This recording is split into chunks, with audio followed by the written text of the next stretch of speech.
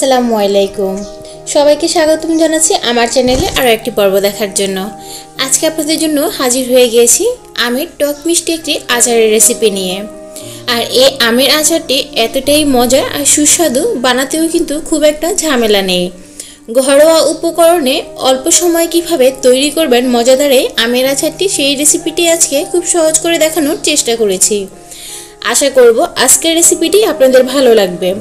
ভালো লাগলে অবশ্যই কিন্তু চ্যানেলটি প্লিজ সাবস্ক্রাইব করে দিবেন। পাশে থাকা রিং বেল আইকনটি ক্লিক করে রাখবেন যাতে সব ভিডিওর নোটিফিকেশন সবার আগে পেয়ে যান। তাহলে চলুন রেসিপিটি দেখে নেওয়া যাক।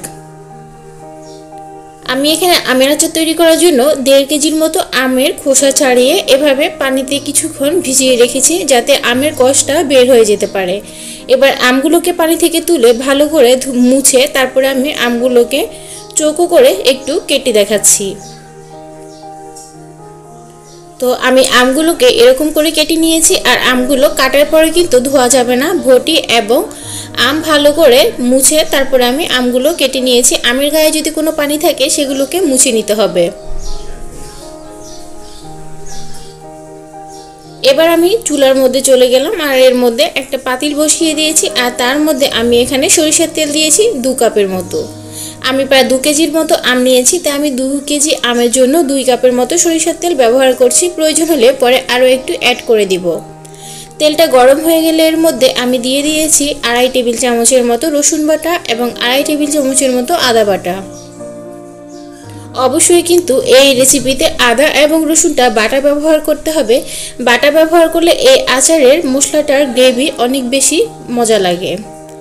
তো কিছুক্ষণ আমি এটাকে প্রায় দুই থেকে তিন মিনিটের মতো তেলের উপরে মশলাটাকে একটু কষিয়ে নিয়েছি। মশলাটা যখন এরকম ভুনা হয়ে যাবে, তখন আমি এর মধ্যে দিয়ে দিব সরিষা বাটা। আমি এখানে হলুদ সরিষা বাটা নিয়েছি দু টেবিল চামচের মতো। তো হলুদ সরিষা বাটাটাকে এবার আমি ভালো করে একটু তেলের সাথে ভেজে নিচ্ছি। খুব বেশি এটাকে তেলের সাথে ভাজতে হবে না, প্রায় দু মিনিটের মতো এটাকে আমি কষিয়ে নিব। এতে করে খুব সুন্দর একটা স্মেল বের হবে। তো যখনই এটা ভাজা হয়ে যাবে, তখন এর সাথে দিয়ে দিচ্ছি এক টেবিল চামচের মতো হলুদ গুঁড়ো। এখানে দিয়ে দিচ্ছি লাল মরিচের গুঁড়ো, দেড় টেবিল চামচের মতো। লাল মরিচের গুঁড়োটা কিন্তু আমার কালারটা যেমন লাল, এটা কিন্তু খেতেও অনেক বেশি ঝাল। তাই ঝালের পরিমাণ বুঝে আপনারা এটা বাড়িয়ে কমিয়ে দিতে পারেন। আপনাদের মরিচের গুঁড়োর উপরে ডিপেন্ড করবে সেটা। আমি এখানে এবার চিনি দিয়ে দিচ্ছি। আর চিনিটা আমি এখানে দেড় কাপ পরিমাণ দিয়েছি। তো আপনারা যদি আরও বেশি মিষ্টি খেতে চান, তাহলে কিন্তু মিষ্টির ব্যালেন্সটা আপনাদের পছন্দ মতো আপনারা ঠিক করে নেবেন। চিনির পরিমাণটা বাড়িয়ে বা কমিয়ে দিতে পারবেন। এরপর এখানে দিয়ে দিয়েছি এক কাপের মতো সাদা সিরকা কিংবা হোয়াইট ভিনেগার। তো এবার আমি এখানে দিয়ে দিচ্ছি একটু স্বাদ অনুযায়ী লবণ। লবণটা পরে আবার নামানোর আগে চেখে দেখে অ্যাড করতে পারবেন, বাড়তি কম লাগলে। তো এবার আমি এটাকে একটু কষতে দিব, আর চিনিটা না গলা পর্যন্ত অপেক্ষা করব। একটা ঢাকনা দিয়ে দিচ্ছি, আর অপেক্ষা করব চিনিটা গলে যাওয়া পর্যন্ত।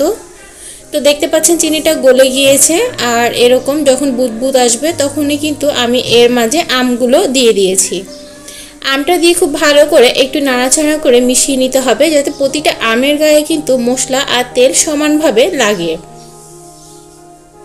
তো আমি আমগুলোকে নাড়াচাড়া করে দিয়েছি। এবার আমি একটা ঢাকনা দিয়ে দিব। তার আগে আমি আরও প্রায় ওয়ান থার্ড কাপের মতো সরিষার তেল দিয়েছি। মনে হয়েছে যে সরিষার তেলের পরিমাণটা একটু কম হয়েছে। তো একটা ঢাকনা দিয়ে এবার অপেক্ষা করব প্রায় দশ মিনিটের মতো। চুলার আঁচটা মিডিয়াম হিটে রেখে। তো দশ মিনিট পর আমি ফিরে এসেছি। এর মাঝে কিন্তু আমি আরও দু তিনবার করে আমগুলোকে নাড়াচাড়া করে দিয়েছি। তো দেখতে পাচ্ছেন আমটার মধ্যে প্রায় বলক চলে এসেছে আর আমটাও মোটামুটি সিদ্ধ হয়ে গিয়েছে। কিন্তু আমাদের আরও কিছুটা সময় লাগবে, তার জন্য আমি আবারও ঢাকনা দিয়ে অপেক্ষা করব প্রায় আরও পাঁচ থেকে দশ মিনিট পর্যন্ত কিংবা আমটা সিদ্ধ হওয়া পর্যন্ত। তো আমার আমগুলো যেহেতু একটু বড় সাইজের আম ছিল আর আটিটাও অনেক শক্ত ছিল, তাই আমটা সিদ্ধ হতে একটু সময় লেগেছে। আপনাদের আমের উপরে ডিপেন্ড করে কিন্তু সময়টা কম বেশি লাগতে পারে। তো আমি লবণটা চেখে দেখেছি, আমার মিষ্টি আর লবণের পরিমাণ ঠিক ছিল। এবার আমি এর উপরে পাঁচফোড়নের যে গুঁড়ো সেটাকে আমি সরি পাঁচফোড়ন যেটা প্যাকেটের আচারের মশলা সেটাকে আমি তেলে গুঁড়ো করে নিয়েছি। তো এখান থেকে আমি এক টেবিল চামচের মতো ছিটিয়ে পুরো আমের সাথে মিক্স করে দিয়েছি। এবার আমি এখানে আরও এক টেবিল চামচের মতো পাঁচ ফোড়নের গুঁড়ো, হাত দিয়ে উপরে ছড়িয়ে দিয়ে ঢাকনা দিয়ে কিছুক্ষণ দমে রাখব। প্রায় তিন থেকে চার মিনিটের মতো দমে রেখে চুলাটা বন্ধ করে দিব। তো দেখতে পাচ্ছেন আমার আচারটা তৈরি হয়ে গিয়েছে, গ্রেভিটাও ঘন হয়ে গিয়েছে, আমটাও সিদ্ধ হয়ে গিয়েছে। আমটা যখন মানে আচারটা যখন ঠান্ডা হয়ে গেছে, তখন আমি এটাকে সার্ভিং ডিশে নামিয়ে পরিবেশন করে নিয়েছি। আর এই আচারটা কিন্তু আপনারা চাইলে রোদে দিতে পারেন। রোদে দিলে কিন্তু এটা এক থেকে দেড় বছরের মতো ভালো থাকবে। আর যাদের রোদে দেওয়ার মতো কোনো জায়গা নেই কিংবা কোনো রোদে দেওয়ার ব্যবস্থা নেই, তারা চাইলে কিন্তু নর্মাল ফ্রিজে রেখে এটাকে ছয় মাস থেকে এক বছরের মতো সংরক্ষণ করতে পারবেন। তো আচারের কালারটা দেখতে পাচ্ছেন, অনেক লোভনীয় হয়েছে। এটা দেখতে যেমন লোভনীয়, খেতেও কিন্তু দারুণ মজার। খিচুড়ি বলেন কিংবা এমনিতে আপনারা কোনো অতিথি আসলে এটা দিতে পারেন কিংবা বাসায় নিজেরাও খেতে পারেন। আর এই আচারের রেসিপিটা আশা করছি অবশ্যই প্লিজ বাসায় একবার হলেও তৈরি করে দেখবেন। আশা করছি সবাই আপনার প্রশংসায় পঞ্চমুখ হবে। তো আজকের রেসিপি এ পর্যন্ত ভালো থাকবেন, সুস্থ থাকবেন, আমার জন্য দোয়া করবেন। আর প্লিজ আমার চ্যানেলটি সাবস্ক্রাইব করে ভিডিওটি বেশি বেশি করে শেয়ার করে দিবেন।